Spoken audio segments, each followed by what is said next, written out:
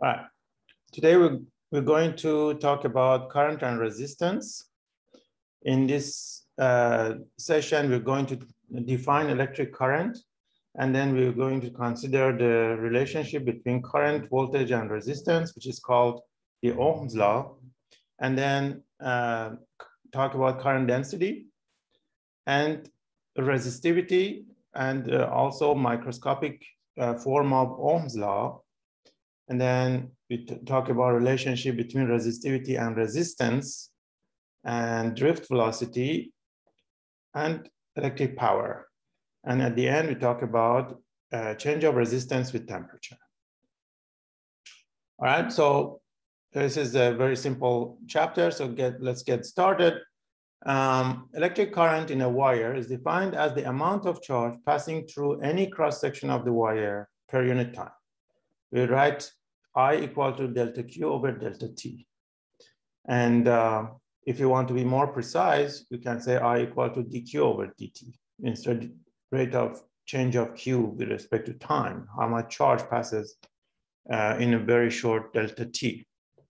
And the unit of current, I didn't put it here, unit of current is, as you see, unit of charge, which is Coulomb per second. So uh, we have a name for that, we call it an amp. And we denote it by capital A. And here is a circuit that shows a battery and a piece of the wire, which is all the same, and a light bulb.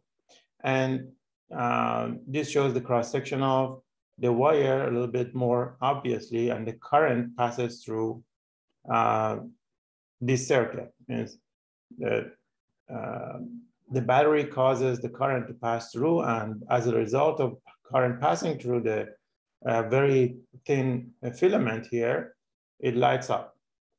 But if you look at the current, it is actually uh, the um, are thought to be positive charges moving in the direction of the current. But then later on, we've realized that no, there are negative charges that are electrons are moving in the direction opposite to the uh, current that has the exact same effect as positive charges would move in the positive direction. So if you want to uh, make an experiment like that, a battery here and a resistor, a, a, a sample of some object, some uh, object that can conduct electricity, doesn't have to be perfect conductor, but it, it is uh, a conductor of electricity, then you see that um, the, if you increase the voltage, the current increases uh, in this circuit, in everywhere the same circuit um, the current increases by increasing voltage. So voltage and current are proportional to each other. And we write V is proportional to I. And the uh, coefficient of proportionality here is called the resistance of this sample because all the other wires are considered uh, good conductors. The resistance is only um, because of this resistor here. And we we say that the proportionality factor is that resistance and we define denoted by R. So we write V equals RI or IR, doesn't matter. Uh, the unit of R is volt per amp. As you see, this is the unit of V is volt, the potential difference, divided by the unit of current, which is amps. So this unit is called O, and it is uh, denoted by a capital uh, omega letter, uh, Greek letter omega.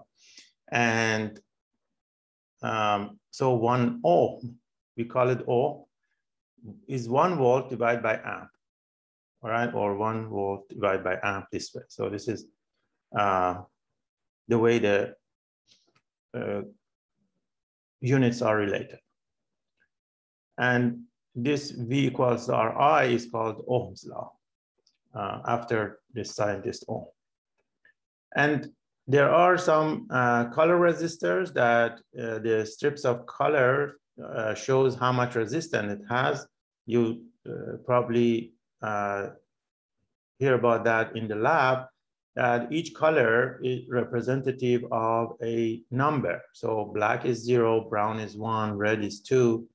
And you start from one side, this, this first color is very close to one side of the resistor uh, as opposed to the other one. So the way you read the resistance of a resistor is that you put the first digit and second digit, and then you multiply that 10, by 10 to the power of the third color. And the last one shows the tolerance, means how much uh, uncertainty this value has. So in this case, you see there's a uh, uh, green, green is five, and then there is the violet, violet is seven. So you add five, seven, so becomes 57 times uh, 10 to the power of multiplier. Multiplier is red, red, which is two. So 10 to the power two. So this is five, 57 times 10 to the second power means 5,700 ohms. And then the tolerance shows if it is silver, it shows that it has 10% uh, error. And if it is gold, it has 5% error. So it means that is 5,700 has an error about uh, 570 or about 600 uh, uncertainty. So the resistance is about, you know, uh, between 5100 to 6300, mm, right? So, uh, so the tolerance is 10% of the original amount. This 5700 uh, becomes 5.7 times 10 to the third, which is kilo. We say 5.7 kilo. All right, this is uh, color resistor, just wanted to mention here. Any questions so far? So we have Ohm's law, V equals to Ri, that uh, applies to every um, uh, resistor, the potential difference across it and the current going through it and its, its resistance. These are related by this formula. And the unit of resistance is Ohm. So what is current density? The current density of a uniform current I through a wire of cross-section area A is denoted by J and is defined by the current through the cross-section divided by the cross-sectional area. So J is equal to I over A. In general, this is a vector.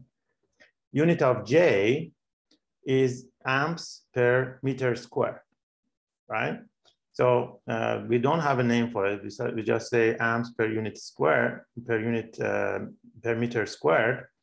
And uh, so when you have a current, for example, if, if the cross section changes, the same current goes through everywhere. So in, in here, you have the same current with larger cross section. So current density is lower. In here, you have the same current and smaller cross section. So the current density is larger. And in general, as I said, the current density is a vector in the direction of the current at any point. So it means that at this point is in this direction. Actually, these are current uh, lines, uh, velocity lines of the charges. So at this point, it is in this direction, it's parallel to this point at parallel to this line at any point. So um, uh, is a vector in the direction of the current at any point, the net current through any surface S is given by uh, I equal to integral over the surface of J dot dA. So if you have a surface, for example, in here, and uh, you, at any point there is a J, means current density, and you have dA that is defined the same as before, uh, that we had uh, integral E dot dA, for example, you see this is the normal component of the current density uh, uh to the surface times the, the surface uh, element of surface area. If you add all of them, uh, first the current density times element of surface becomes the small current that passes through that surface at that particular element, through that particular element. And then if you add all of them, you get the total current passing through the surface. So this is uh, more general consideration of this, but we don't usually use that. We just use this uh, simple case because usually the current density is uniform for us. But if the current density is not uniform, there's some a couple of problems that are like that, then you have to use this formula. All right, any question? Is current density very simple? Uh, is current divided by area. And then resistivity uh, and microscopic Ohm's law, we have a, a resistivity defined this way. If you have a piece of um, object like this cylinder, the potential, uh, the electric potential across the sample uh, set up an electric field along the length of the sample. So when you have an electric potential from here to here, like it's connected to a battery, then this uh, potential difference is corresponding to an electric field uh, that uh, is throughout this sample because, you know, integral of E dot dl becomes the delta V, the potential difference, remember? This electric field causes electrons to move in the opposite direction of the current, of course. And as a result, a current density J is created at any point inside the material, which is proportional to the electric field intensity E. So the, the larger the electric field is, the faster the electrons move. And of course, the, uh, it is because the electrons, as they are moving, they hit the atoms in uh, or molecules in front in, in the sample, so they slow down. So the, the larger the electric field is, uh, the faster they move because there's friction. It's like air friction for them. So electric field is proportional to the current density. And again, there's a proportionality factor. Uh, the proportionality factor in this case is called resistivity of the material. So we denote it by rho. Uh, it's Greek letter rho. We use it for uh, charge density as well. We use for mass density. And in this case, uh, in this particular case, we use it for resistivity of the material. And then we write uh, E equal to rho times J. And it, it shows that, uh, in fact, J is a vector that is in the direction of the electric field. And it has a um, resistivity rho. Uh, the rho is uh, depending on the material only. So that for some materials, rho is large, for some material rho is small. You see that if uh, it takes large electric field to make a um, make a current density, certain current density, it means that rho is large, and that is mean that means that the material is more uh, toward um, resistive or less conducting. And uh, more conductors usually have very low resistivity. Uh, that's why elect, uh, with the electric field, a small electric field creates a large current. And therefore, it, uh, the current actually create uh, separates the charges. And if uh, you don't provide the current, then the electric field drops and uh, stabilized. This equation is called microscopic version of the Ohm's law, as opposed to V equal to uh, Ri. Say this is E equal to rho J. And the inverse of resistivity, rho, is called conductivity of the material, denoted by sigma. So sigma is one over rho, rho is called conductivity. If uh, something has large resistivity, it has low conductivity and vice versa. So for example, metals have very low resistivity, very large conductivity. Uh, plastic, wood, and these kind of things have very large resistivity and very small conductivity. The units of resistivity are ohms meet, ohm meter. How's that? Um, you can write uh, resistivity, unit of resistivity. Let me write down. Unit of resistivity can be written as unit of electric field divide by unit of uh, J. So uh, unit of rho is unit of E, which is, uh, can say uh, volt per meter, I guess, can say volt per meter electric field can be written as volt per meter or coulomb per, uh, sorry, Newton per coulomb. Or, and J can be written as amps per meter squared, right? So one of the meters cancel, get volt over, over amps times meter. And volt over amp, we just said that it is an O. So it, it is O times meter, okay? So unit of resistivity is O meter. Any questions about that? And then this, this is a table that shows resistivity uh, for some material. And as you see in here, we, we have metals with very low resistivity of the order of 10 to the negative eight, right? These are all silver, copper, gold, aluminum, and all of that. You see they are in the order of 10 to negative eight. And these are some alloys, which is the mix, mixture of different material, different conductors. They also have um, very small resistivity. And then we have semiconductors. Semiconductors have resistivity uh, much bigger uh, than these. So in order to see from negative 10 to negative 5 to 10 to 10 to the third, and uh, especially pure silicon is, is like that. And then insulators, which is like glass, uh, wood, and uh, things like that, have resistivity much, much higher, 10 to the 14, 10 to the 15, and so forth. You see, these are very, very uh, large resistivity, means that they are not really conducting much uh, uh, elect electricity. So that's why we call them insulators.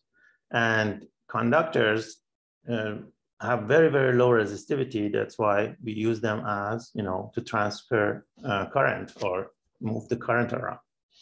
And we use those like uh, amber or glass, we don't use glass or Teflon, for example, uh, to, to use the cover for copper wires that we want to send electricity and we want we don't want it to you know uh, leak away from the wire so we we put insulators around them.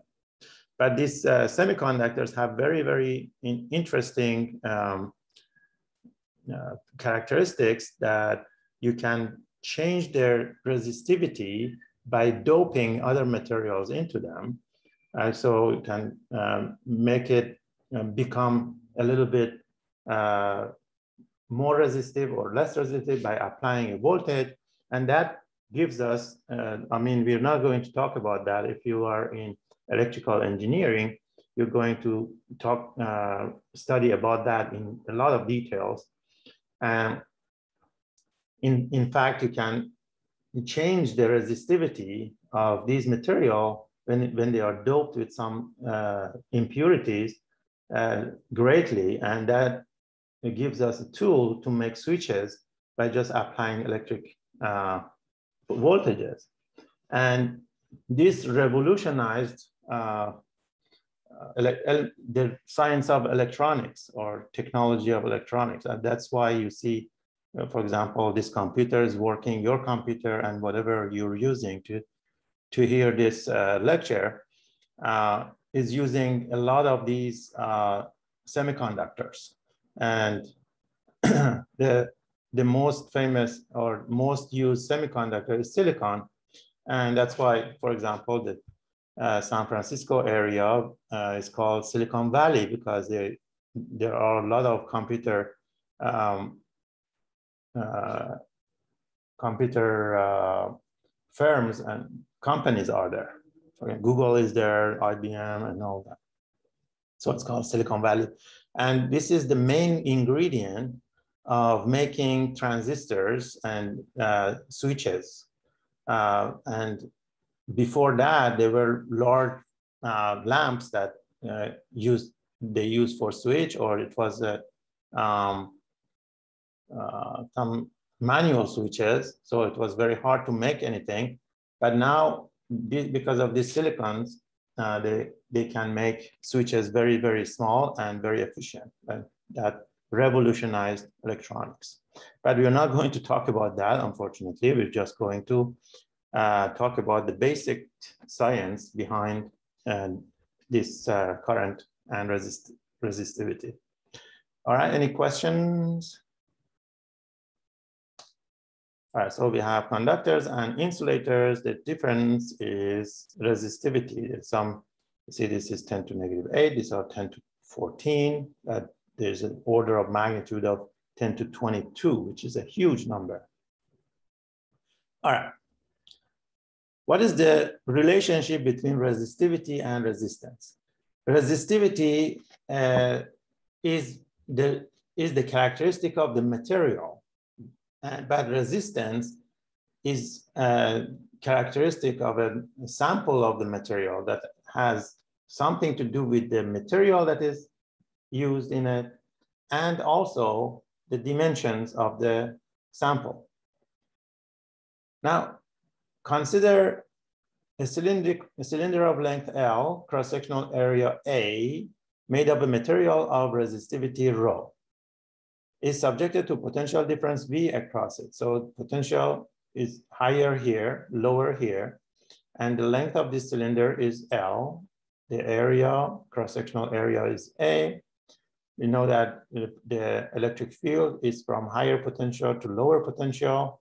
So therefore, when you, when you set up a potential difference, the electric field uh, creates a current density and current density creates a current.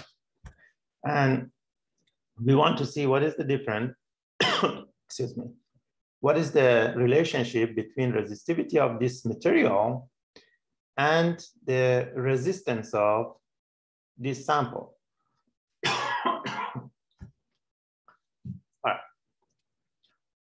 From the microscopic Ohm's law, we have E equal to rho times J. Remember, E was the electric field, J was the current density, rho was resistivity. But electric field also is equal to V over L because V is E times L, remember? And the current density is J, which is I over A. So if we uh, write V over L, which is the electric field, should be equal to rho times j, which is a over a. So this is, sorry, i over a.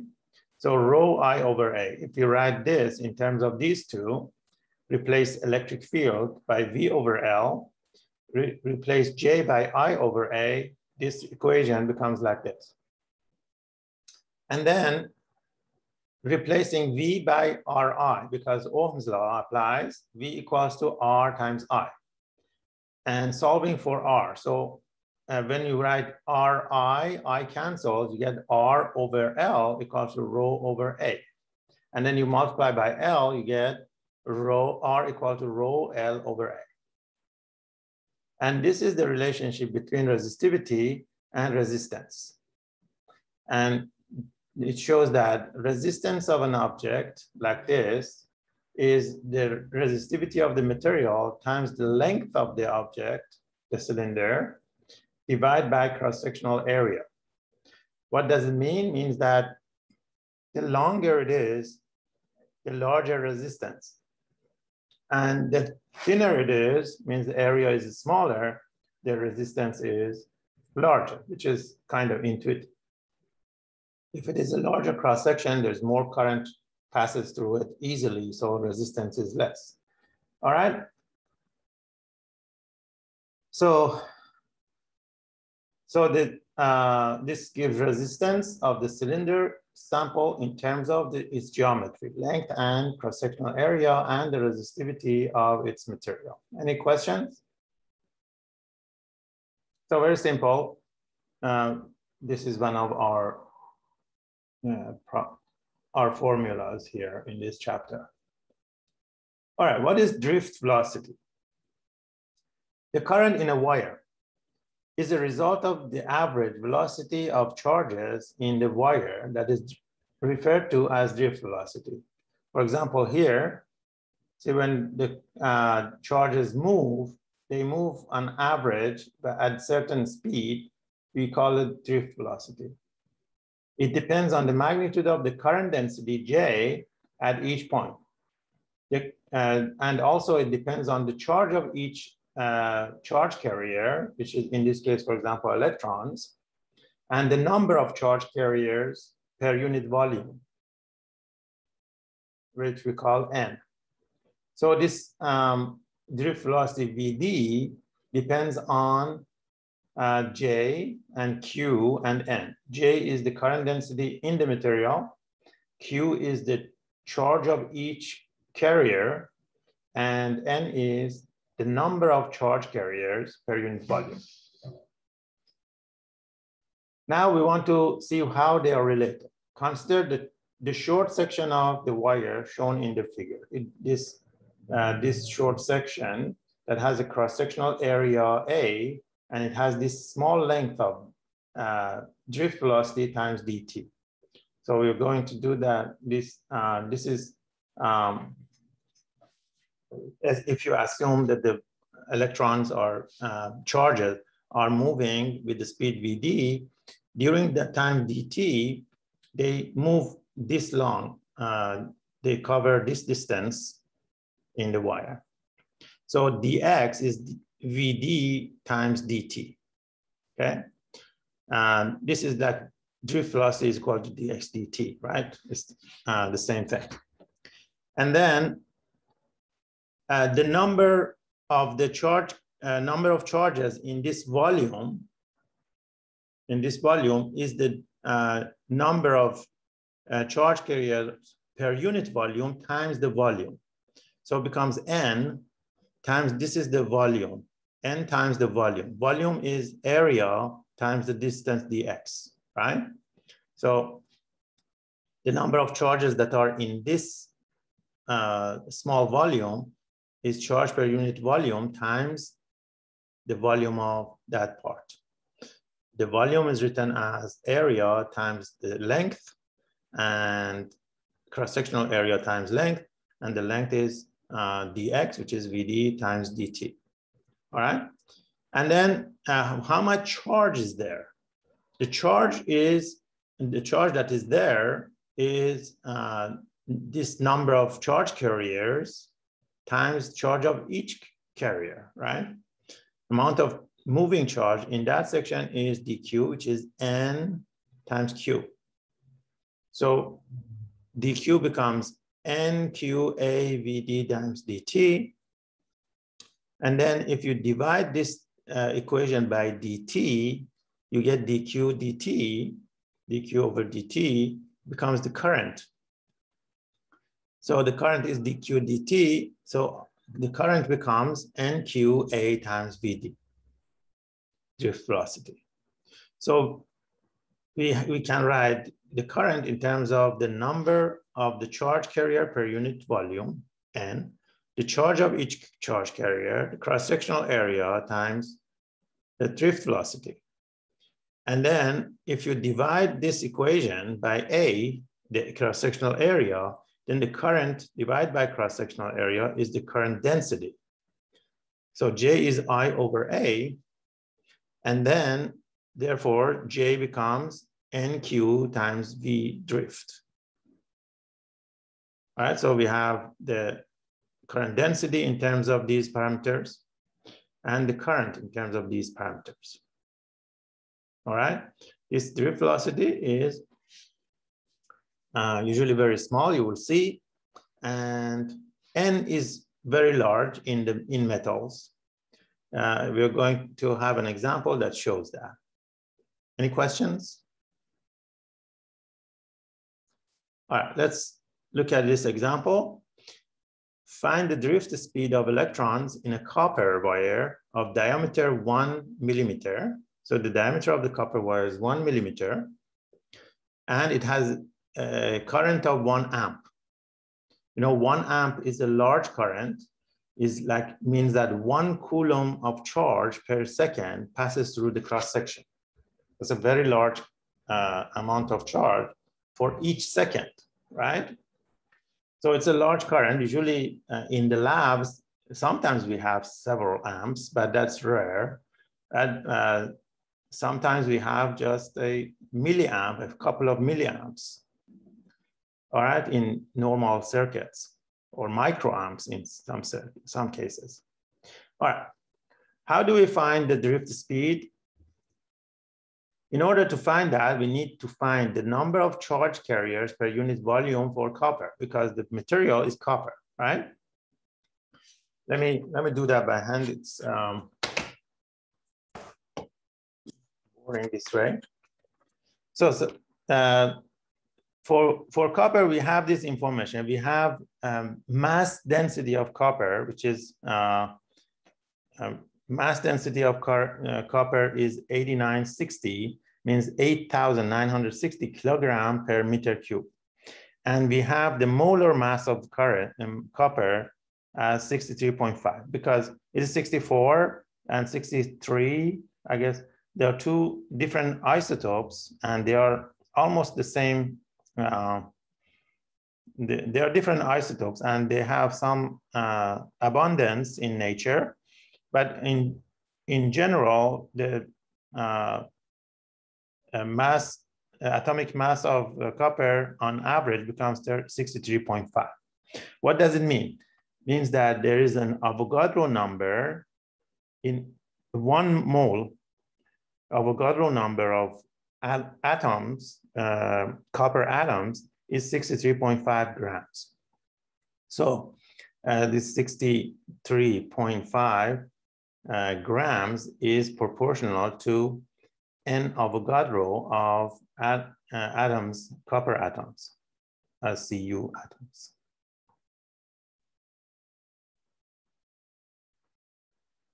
Right? So uh, and n Avogadro is, uh, uh, you, you know, 6, 6.02 times 10 to the 23rd, right? Of uh, Cu atoms, Cu, I say atoms,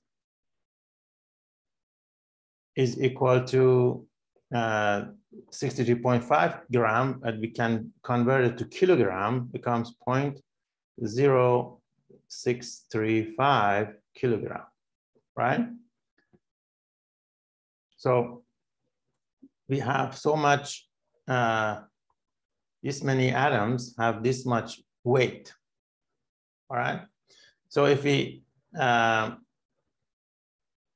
if we divide these two, because uh, we get uh, six times 10 to the 10 to the 23rd uh, atoms per kilogram. So divide by 0.0635, we get a large number, which is num uh, the number of atoms per each kilogram of copper. All right. So it becomes, how much is that? Um, is I don't have a calculator here with me. Can somebody calculate that for me, please? So that becomes about uh, 6 divided by 6.5 times 10 to the 4, about 9 point something times 10 to the 24th uh, atoms per kilogram. 9.44, yes, thank you. Oops. 9.44 times 10 to the 24 um, uh, atoms per kilogram. And now we have in one cubic meter of copper, we have 8,960 kilogram of copper. So if this, this many atoms per kilogram in 8960 kilogram, we have so much more atoms. So if you multiply 9.44 times 10 to the 24 uh, atoms per kilogram, Then you multiply this by, multiply this by um, 8960 uh, kilogram per meter cubed, you get the number of atoms per meter cubed. And this comes to uh, be 8.49 times 10 to the 28th atoms per meter cubed. All right, so this is a large number. This is in fact n, the number of atoms. Okay, this is the number of atoms, not the number of charge carriers. But for conductors like uh, copper, uh, essentially every atom contributes one electron to the conduction uh, band of the uh, of the sample. So every atom contributes one electron. So the number of electrons that are moving around is the same as the number of atoms that are in the sample. So therefore, there is so many uh, electrons that are per cubic meter that are in the uh, in the sample. So that is n. And now we want to find drift velocity. We remember I is uh, NQ and uh, NQA drift velocity. And then if you want to find V drift is equal to I divided by N times Q times, don't need that big um, I divided by NQ times A. Now we can put the numbers in. I is just one amp, everything in SI unit, so I don't write the units. I is one amp, N is this number, 8.49 times 10 to the 28th. And then N is the charge of each carrier, which is electron, so 1.6 times 10 to the negative 19. And A, cross-sectional area, if the diameter is one millimeter, you can write, you see the area is pi r squared, but in terms of the diameter, because d is r over two, becomes pi over four d squared. So it becomes pi over four times d squared, which is 10 to the negative three squared, right? So you just need to multiply all these numbers. You see this 10 to negative 3 squared becomes 10 to negative 6, and times 10 to negative 19 becomes 10 to the uh, 20, negative 25. With this 10 to the 28 becomes 10 to 10 to the third power in the denominator. It comes up, becomes uh, 10 to the negative 3. So 10 to negative 3 divided by 8.49 times 1.6 times pi over 4, right? So you see that if you if you calculate that, this is uh, about 0.09 something. You can calculate that uh, times 10 to the negative 3. And the unit is meters per second. So becomes millimeter per second. all right? So what is that number? See 0.09, it is less than 0.1 millimeter per second. Means that you, for this uh, one amp current that goes through the wire, it has a small cross section, one millimeter is not much. You have to wait 10 seconds for the electrons to move on average one millimeter along the wire. All right? it's very, very slow. And if you make it 10 amps, then they go about one millimeter per hour, per, per second. So uh, any questions on this?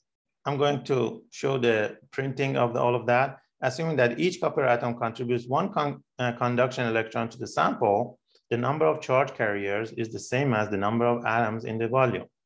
So N is 8960 divided by, this is kilogram per meter cube, divided by kilogram per mole becomes mole per meter cube. And then for each mole, we have 6.2, 6.02 times 10 to the 23rd atoms per mole.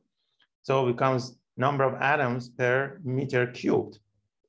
So it becomes 84.9 times 10 to the 28 atoms per meter cubed, that's N. And this is I, VD becomes one over I over NQA. And these are the same calculation, becomes 0.094 millimeters per second. All right, so it is very, very small, um, small speed. But then if you look at the what's going on in the in the sample, this is a busy figure I need to explain. See, this is the conductor without internal electric field, means that conductor that doesn't have any electric field, so there's no current in it. So uh, this blue line that you see with arrows on them, it, is the random motion of an electron because there is temperature and it, um, everything is moving inside. The electrons are moving very fast. And uh, on average, when there is no electric field, it is like air molecules that are moving in, in the air in random directions. And in general, you don't have a drift. You don't have a um, draft in, in terms of, uh, for air, we, we don't have a wind that moves around. But do you, do you guys know that the, the average, do you know the average speed of the air molecules in the air at room temperature? Does anybody know that? There's a there's a formula to calculate that. V V is equal to you can you can use one half mv squared, the average V average. Uh, this is average kinetic energy of the air molecules or any gas uh, molecule or gas atom, atom of ideal gas is equal to one, uh, actually three half kT, three half kb, Boltzmann constant times the temperature in Kelvin. Boltzmann constant is uh, 1.38, I think, times 10 to the negative 23 uh, joules per Kelvin. And if you use that, you can find V average to be one halves cancel, you get square root of uh, 3 kBT divided by M. If you, if you calculate that for the air molecules, with the M is mass of one air molecule, which is like hydrogen, uh, sorry, uh, oxygen or nitrogen, we can put the average of those two, 29, uh, 29 times the mass of a proton. And uh, Kb is very small. T temperature is about 300 Kelvin. If you put that, you see that the average speed of air molecules in the air in uh, room temperature is about 500 meters per second. Very, very fast. And you are being bombarded by uh, air molecules with that speed. All right. And probably they they hit your skin, they go to your skin because it's like a bullet shot into your skin. but of course they're light and they stop fast. And sometimes they bounce back. All right, so they're going that fast. The air molecules are going that fast. And you see that it is the same Kb and T for anything in that temperature. But for electrons, this m is much smaller. For electrons, this m is 10 to negative 31st, which is two about uh, 10,000 times uh, or 50,000 times smaller than a molecule of oxygen or nitrogen. And uh, if, if that is that much smaller, means that the um, uh, electrons inside the wire at room temperature, they're going about, um, what is the square root of 50,000? Becomes about, um, if it is uh, 10,000, it is 100 times bigger, right? About 100 and or uh, 200 times bigger speed means they're going at the speed of about to 100,000, yeah, 10 to the fifth, 10 to the fifth meters per second. Very, very fast. This is the average speed of electrons inside the wire. So they go with this average speed in random, random direction like that, and they hit each other, they hit the atoms and bounce back and forth. And on average, if you look at the cross section of the wire, there's the same number of electrons passing through to the right and the same as this, the number passing through to the left. So there's no net current. But when you apply an electric field, uh, as they are going like crazy back and forth, they drift slowly to one direction, as you see, which is exaggerated um, uh, departure from the random, the red uh, lines. So if you have electric field, as the electron is moving along, you know, the random motion, it drifts a little bit to the right. Uh, or yes, in this case, to the right. All right, and then uh, there's a current to the left because electrons are going to the right. And you see the vast difference between these two speeds. The speed is 10 to the 5. The other one is 10 to the negative 1, negative 4. So the random speed of electrons is about a billion times bigger than this drift velocity. Okay, which is very interesting. As you see, you know, in the air, you can have a draft of now the air in the uh, air in around you may move at like a couple of centimeters per second, but they are moving, the air molecules in fact are moving at 500 meters per second. So that's not as dramatic as this, but it is dramatic, all right? So I just wanted to uh, point out that this is not a random speed. Random speed is much higher. This is just the average velocity that's uh, because um, the average, when you go on random back and forth, the velocity average becomes zero. But then if you have a small uh, incline to one side, the average becomes non-zero. And that is the balance, see, VD, which is 0.1 millimeter per second, very, very small. All right, any questions? Okay. So what is electric power? If you have a um, circuit like this with the um, battery and the resistor and current going through it, uh, the ideal battery provides energy in the circuit and the resistor dissipates energy. We say that the resistor dissipates energy. Uh, it turns the energy into heat.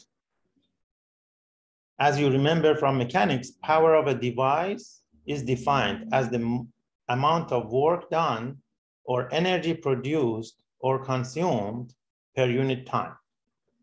So this is the power as we remember from mechanics. P is W divided by T or U divided by T. The W is the, um, the work or the uh, U is the energy, uh, whichever you want to use when a charge Q passes through a potential difference V, it gains or loses energy of magnitude U, which is Q times V. Remember that if a charge goes from here to here and there's a potential difference V here, uh, as it is on the sides of the battery. So from here to here, uh, the charge loses this much energy, Q times V. And if it goes from here to back to here, it gains that much energy. When plus Q passes through a resistor, it loses energy U equal to Q times V because it goes from higher potential to lower potential. You know that the current is always in the direction of the electric field. And remember the electric field is always from higher potential to lower potential. And therefore, this uh, when the current goes through the resistor, always loses um, potential energy. And then when the same positive Q passes a battery from negative to positive, I should add here, it goes from lower potential to a higher potential. So it gains Q times V, energy equal to Q times V. The magnitude of the power in each case is this energy divided by the time. So becomes, um, becomes uh, this U divided by time, QV divided by T. So QV divided by T. And Q divided by T is I, right? So you can have I times V. so the power can be written as the current times voltage. And also because V equals to Ri, if you replace V by IR, it becomes I squared times R. Or if you re replace um, I by uh, V over R, becomes V squared over R. So all of these are the same formula. The unit of uh, power is what? denoted by capital W, and it's equal to one joule per second or one volt per amp. So P is equal to IV or become or equal to I squared R or equal to V squared over R. So you can use any of these uh, uh, forms depending on what you have. For example, if you have current and voltage, you can multiply them. If you have current and resistance, you can do I squared R, or if you have voltage and resistance, you can do V squared over R. Depending on what you have, it, these are all equivalent, and some of them are easier to use than the others, depending on the situation. All right. We use P equal to IV for batteries because they do not have resistance. So for batteries, we only use V, P equal to I times V. If the current that passes through the battery times the potential difference across the battery, right? Because usually the batteries are uh, characterized by potential difference across them, and we know how much current goes through them, but we don't know what the are because actually the ideal batteries don't have resistance. So we cannot use this one or this one, okay? This is the power output of the battery in a usual circuit. So when, when we calculate IV, we calculate the output power of the battery. When uh, usual, usual um, circuit means that the battery is providing current. So the current goes out of the um, positive side and goes through the circuit and comes back to the negative side.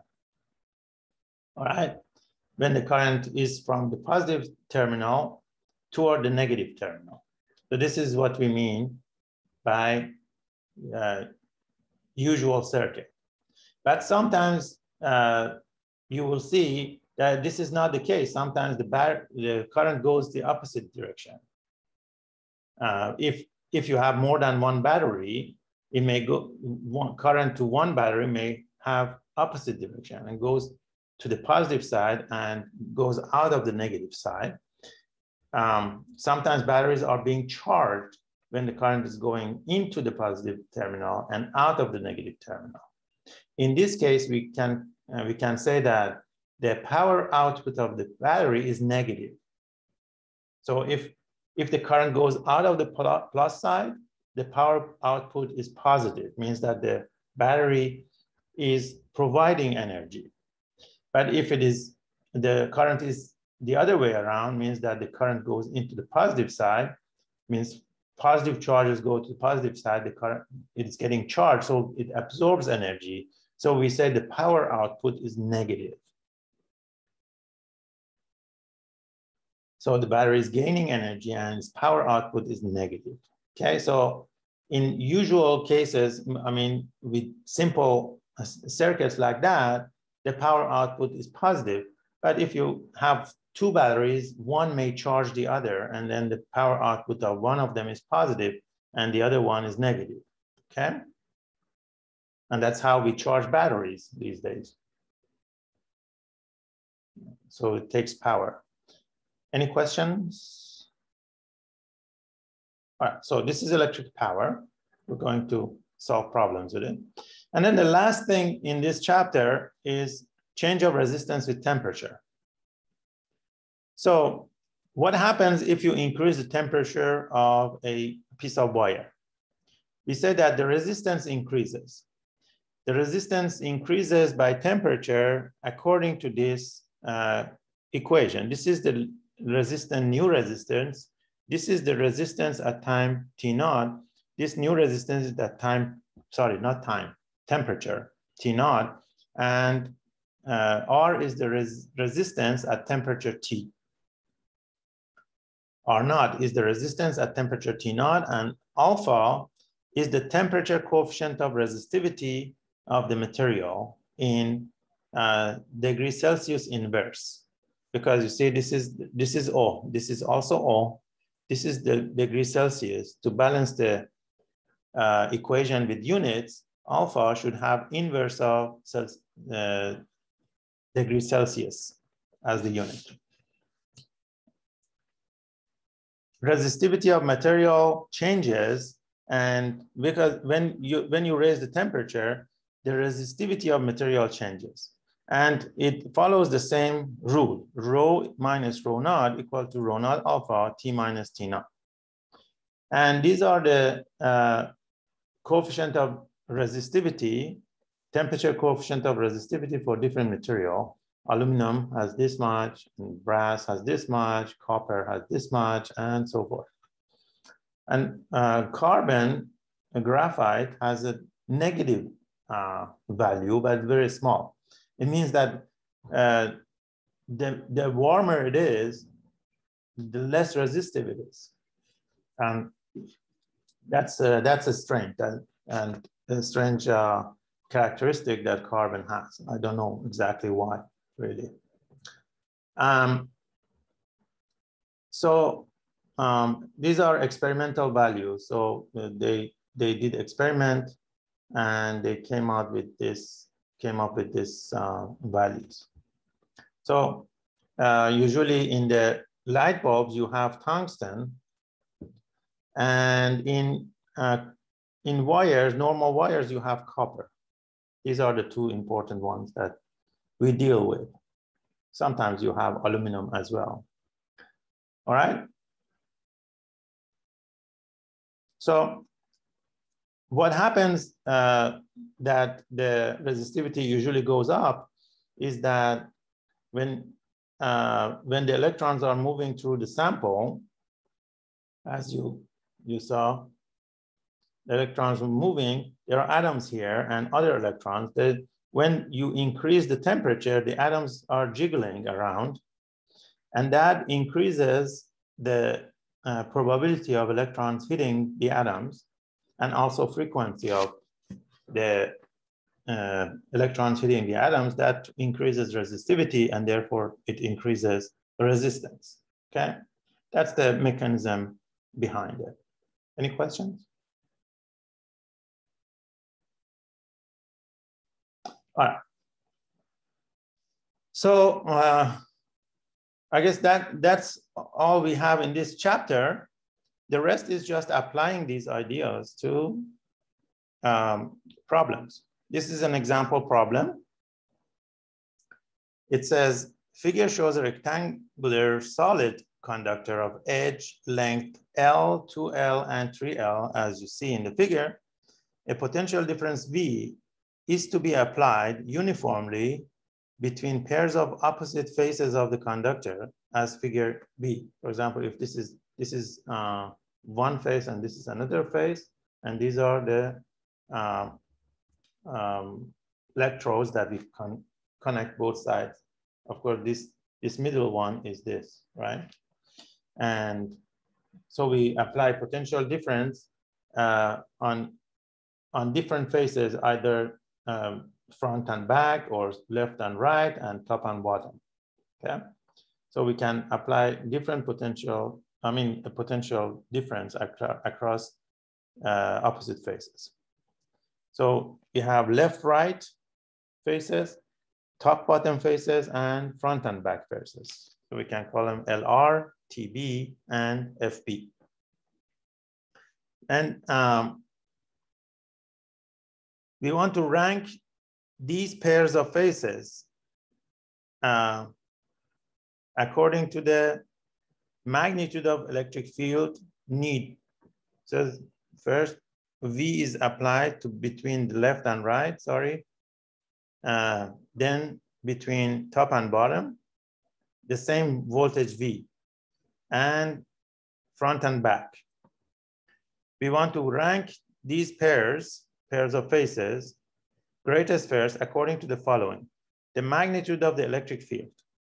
Which one creates a larger, uh, in which case you have larger electric field inside the material or inside the uh, conductor. Can you tell? If you apply voltage this way between these two or between these pairs or between these pairs.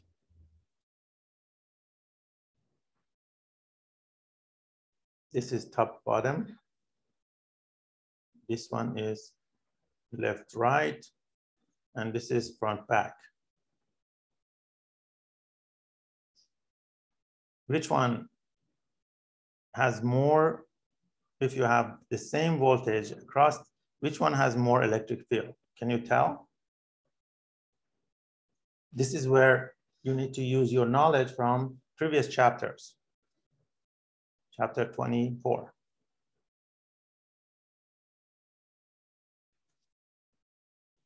What do you think?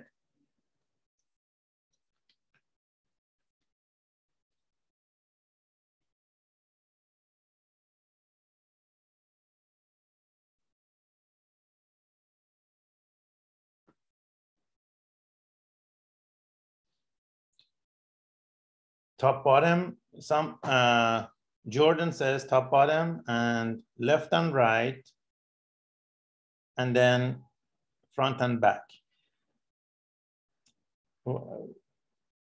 Would you want to explain why you decided that? How you decided that?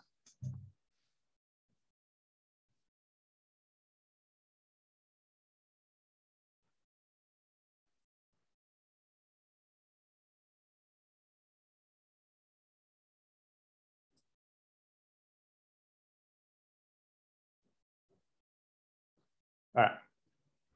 We said that uh, the voltage V is equal to integral of E dot dl, right? And integral E dot dl, if, if E is uniform and it is in the direction of dl, means that if you go from top to bottom directly, means uh, dl is in the same direction as E. So E dot dl becomes integral of E times L dl. The dot product becomes just a multiple of their magnitudes because they are in the same direction. And then, of course, there's a negative sign that doesn't really matter here. Uh, and then E is uniform here. You see, as it's showing in here, E is uniform. Therefore, it comes out of the integral. So V becomes E times integral of dl and integral dl is the total length, E times L. So if you have V the same for all different sides, then the larger the L is, the smaller the electric field is, and vice versa. So the larger distance between uh, the two sides give you a smaller electric field. So for example, top bottom, for between top and bottom, uh, the distance is just L. So V is equal to E top bottom, let me write TB times L. And V is also equal to, V is also equal to E of, uh, let's say left and right, times what is the distance between left and right? You see, this is between left and right. The distance is 3L. Do you see that? So that's times 3L. And V is also equal to E front and back, and the distance between front and back is 2L.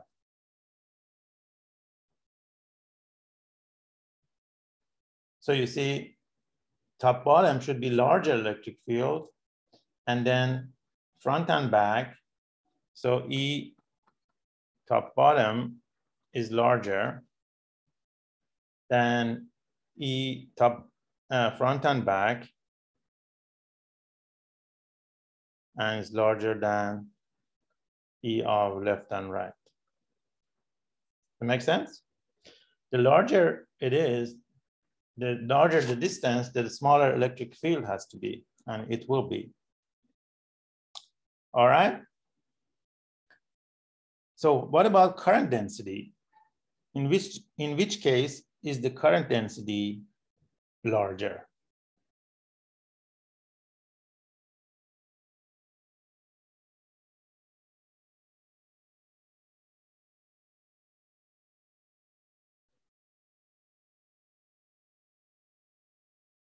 So, so far we said uh, E top bottom is the biggest, then E front and back greater than E left and right. What about the current density?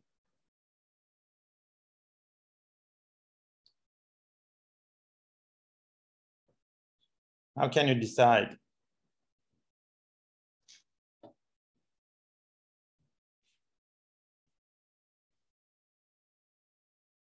Anybody? Remember, we said the uh, front back, LR, TB. Uh, all right, how did you get that? See, we said that uh, E was proportional to J, right? And we said E equals to rho J, and rho is the conduct uh, resistivity, J is current density. But it, they are all the same material, so rho is the same. So it means the, the larger the electric field is, the larger uh, current density. So J top bottom is also greater than J front and back, greater than J left, right. Make sense? Now, what about the current?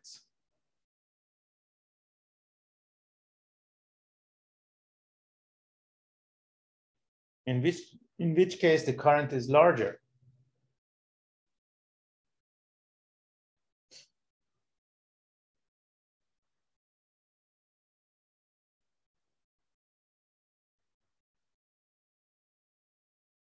Hmm. No problem. All right. The current, we can decide later, but can you say about the drift speed? Remember drift speed is what? is related to J is N, uh, it was NQ V drift, right? N is the same because it's the same material. Q is the same, so all electrons. So the larger drift, uh, larger J gives you larger drift speed. So for the last one also, VD for top bottom is greater than VD for um, uh, front and back and greater than VD left right. But about the current part C,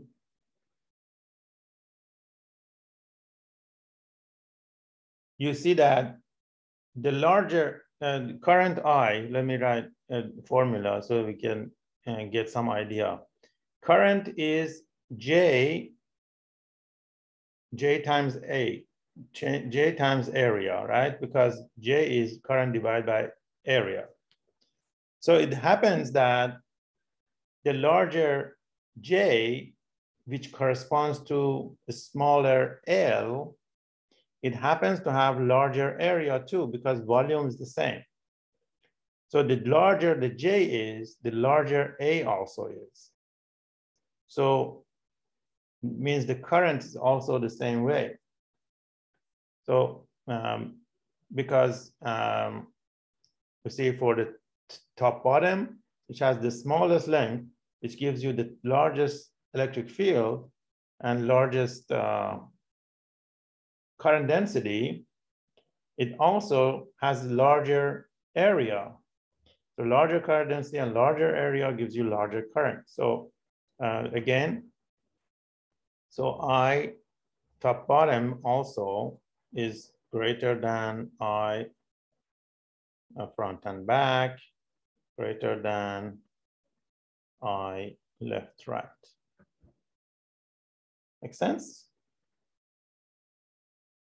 Right, so you see in each case, I am actually applying a formula. I'm not just making it up. For example, for the first one, I said that uh, V equals to E times L, E times L, right? That gives us this one. And then E equals to rho times J, it gives you the second one. Then J is NQVD. So um, we're not just uh, giving an opinion, we just find, uh, realize, okay, is there a formula that can help us get to the right answer?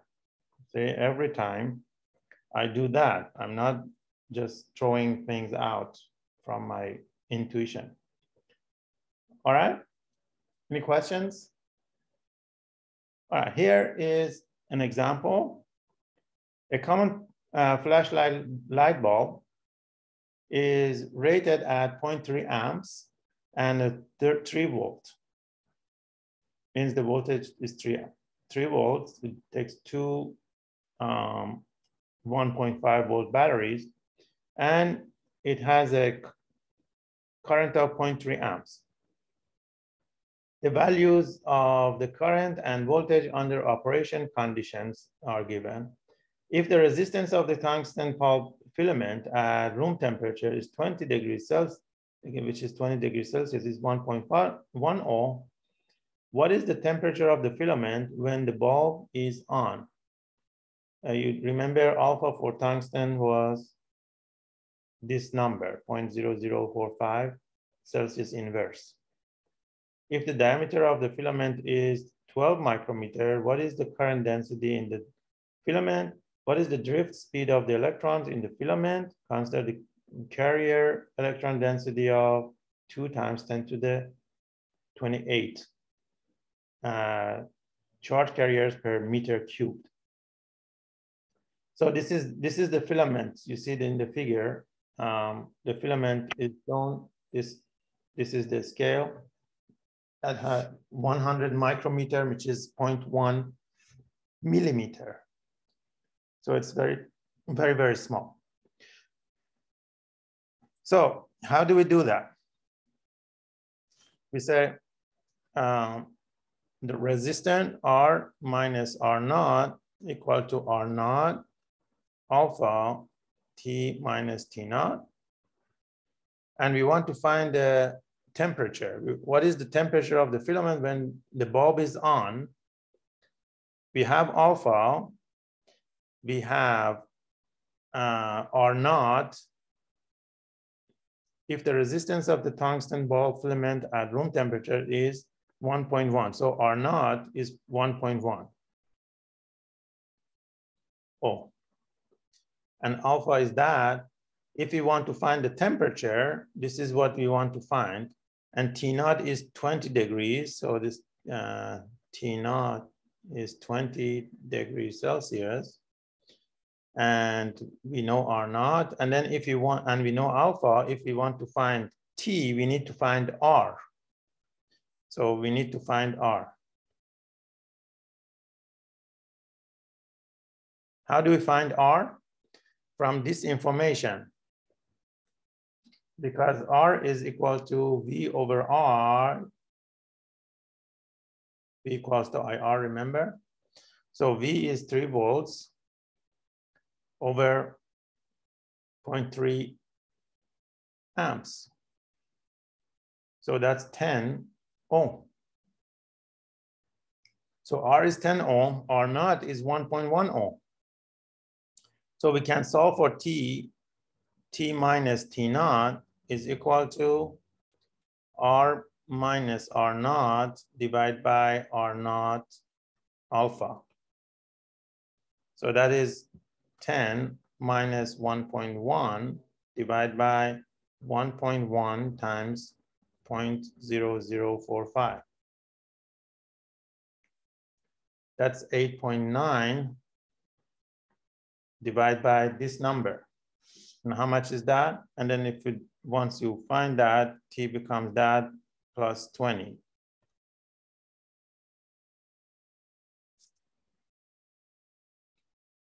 So I can say this is about uh, 0.005. That's about 200, right?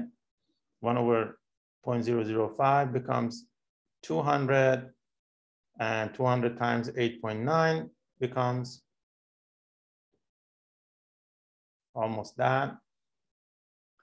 Uh, we increased both, so 200 times 9 comes 1800, right? And adding 20 is not very important plus 20, 1820. So the temperature of the, uh, the filament when it is on, it is about 1800 degrees Celsius. Okay.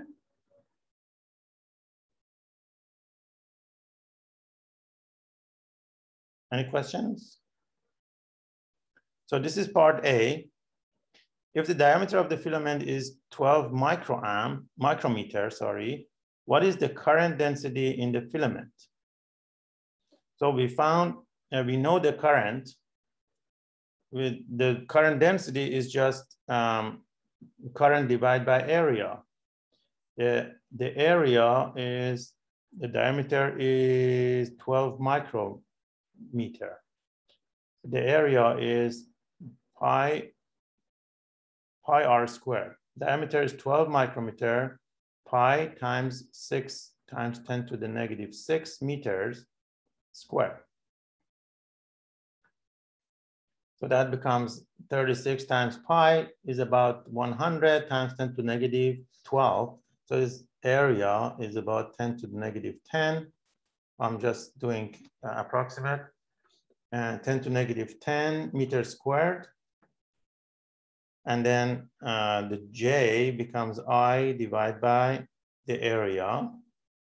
So it becomes 0.3 divided by 10 to the negative 10 becomes times 10 to the 10 meter um, uh, current amps per meter square.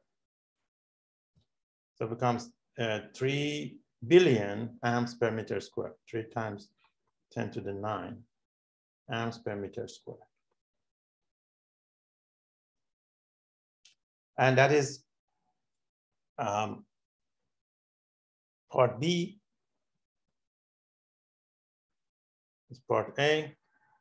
And part C, what is the drift speed of the electrons? Um, you can know that the drift of CVD is equal to I, or if you find J, become J divided by N times Q because J is N Q DVD and J you found, N is given, Q is charge of electron. you can find that. All right. All right, I guess I stop here.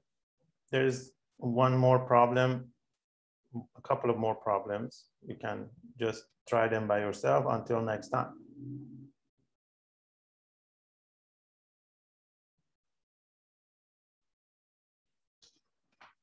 Any questions? Nope. All right. So um, see you next time.